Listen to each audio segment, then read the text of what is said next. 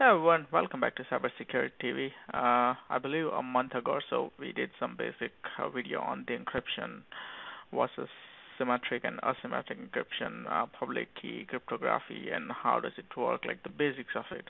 And I got some good response on that, and people wants to understand the encryption in detail. So I'm I'm gonna make some more videos into deep dive into how the stream and the block cipher works.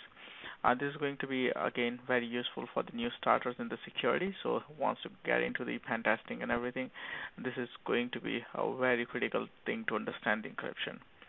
Alright, so the previously we talked about what the uh, symmetric and the asymmetric encryption. Now this time we're going to talk about the block and the stream cipher. So block and the stream cipher is uh, part of the symmetric encryption uh, family. Uh, now uh, block cipher means uh, what it refers like the block of the plain text. So what we do in the block cipher is we have the set amount of data. Like we would say, okay, we want to encrypt 64 bits of data.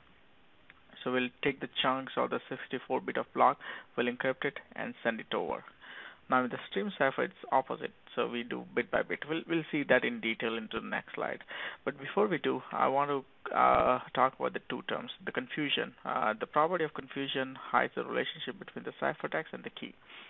So here we want to make sure, uh, based on the ciphertext, let's say the attacker uh, gets hold of the ciphertext, then it should not give any idea uh, to the attacker that it can derive the key and like you know decipher the ciphertext. So uh, that's that's what the confusion property of the encryption refers. And then the next one is the diffusion. Uh, the diffusion uh, idea of diffusion is to hide the relationship between the ciphertext and the plain text. So here we are trying to protect the algorithm.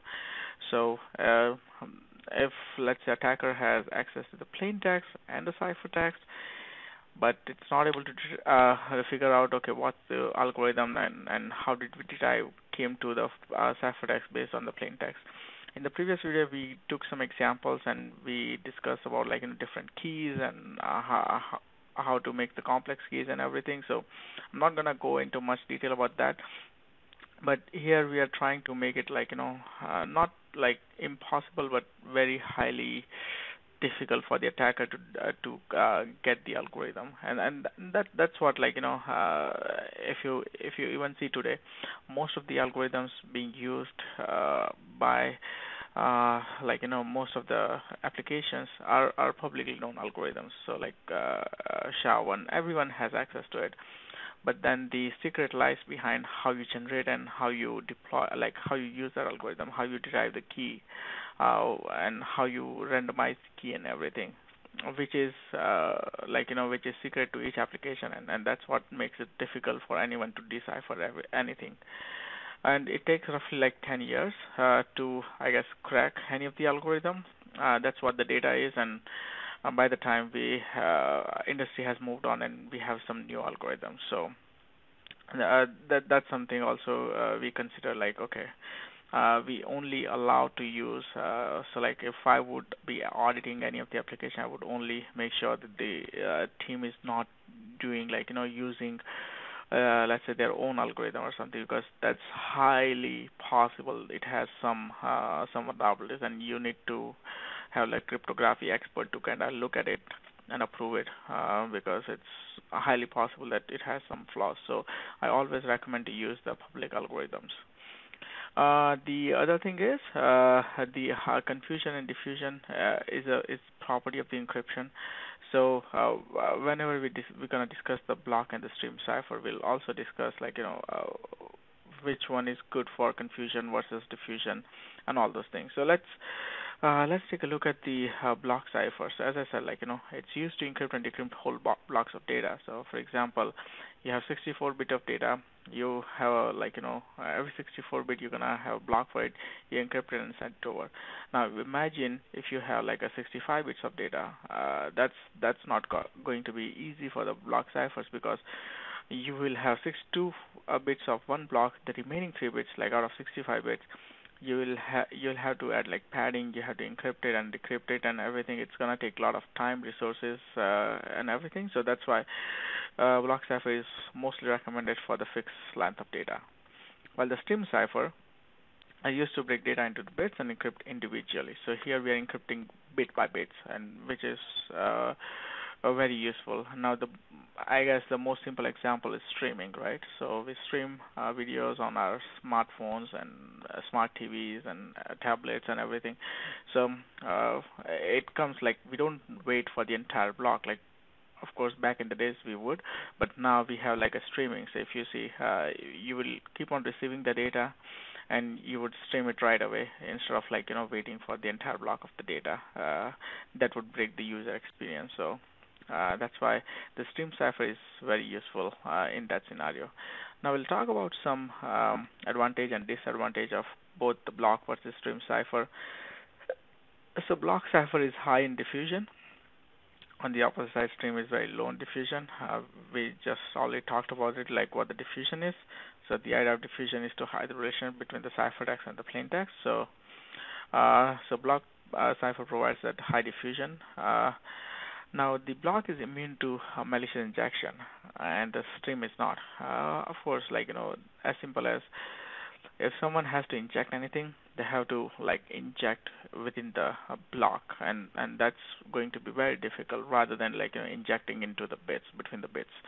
So that's why uh, it's very uh, like you know block cipher is difficult for the attacker to uh, malicious injection attacks. Uh, as you saw, like block is going to be slow encryption, versus stream is going to be very fast encryption. Uh, because block you have to wait kind of for the entire block or chunk of the data before you can start encrypting. Uh, uh, yeah, imagine a scenario where, uh, like you know, you have to encrypt sort of like a, a big chunk of big big stream of data. So, for example, or let's say uh, the SIEM uh, where it's getting like you know endpoint is getting hit by the different devices and and collecting the logs and everything. Now, uh, if we just wait and like you know have to encrypt everything, we have to divide into the blocks and then encrypt and then send it over. It's going to be very slow process because we are we are collecting the blocks while the stream is going to be very quick because as as soon as we are receiving the bit, we are encrypting and send, sending it over. The other advantage of this stream is the low error propagation. Uh, so, uh, for example, uh, uh let's say you have a credit card, and on the credit card, of, uh, there's there's always going to be a 16 digits. There's always going to be a four-digit security code or three-digit security code, and then two four-digit of the expiration and everything. So that that that information we know. So we can use the block cipher. Now the stream cipher. Uh, so for example, in the on the credit card, you have the name of the person who. Uh, who's, who, uh, who is the owner of the credit card?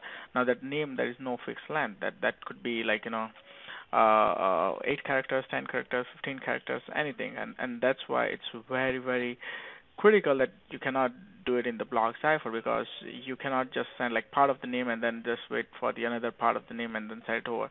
Rather than then the stream cipher becomes more important because there is no fixed length of the data required. So uh, it's very uh, it's very uh, low possibility of the error propagation when something like this uh, is gonna is gonna happen. So that's why the stream cipher is uh, is more kind of useful.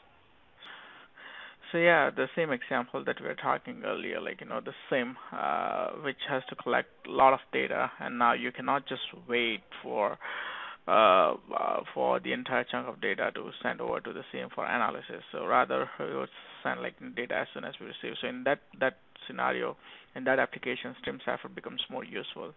So so there are like you know uh, there are a lot of examples out there where you can use block versus Stream Cipher, and it's it's very much it's very important for uh, for uh, someone who wants to get into the cryptography and encryption has to understand the difference and, and has to understand uh, how this block cipher and stream cipher works uh, in detail. And and that's what uh, my intention was to just provide some high level details and and I hope I have done the good job at it but if you have got any other further questions uh, feel free to like you know uh, leave me a comment and and give me a feedback as well. Uh, hit the like button if you like this video.